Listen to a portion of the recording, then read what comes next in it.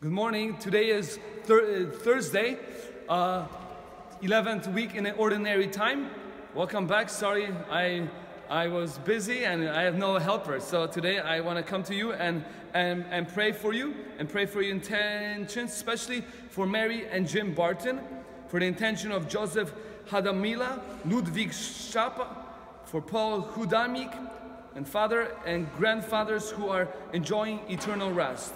Let's pray for Richard Coho, for, and for, the, for his intention and repose of the souls of Damien and Cordelia Onuaha. Let's also pray for Patricia Noska and her intention, for the int- general intention for the cure of this pandemic. Let's also continue to pray for the parish, for the Holy Trinity people, and for those who are helping me to reopen this uh, pa- parish. So I want to give you thanks for all those things and continue to pray as I continue to pray for, for, uh, for you.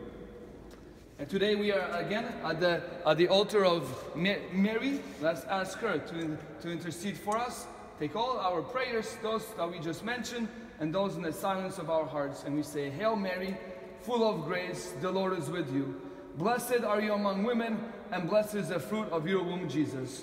Holy, Mary, Mother of God, pray, for us sinners, now at the hour of our death. Amen.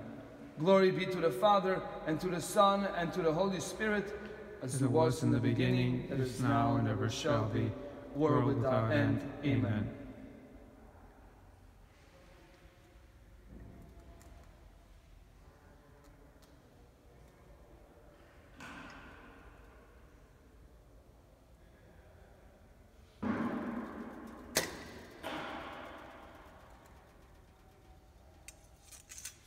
And may you have a, a blessed day.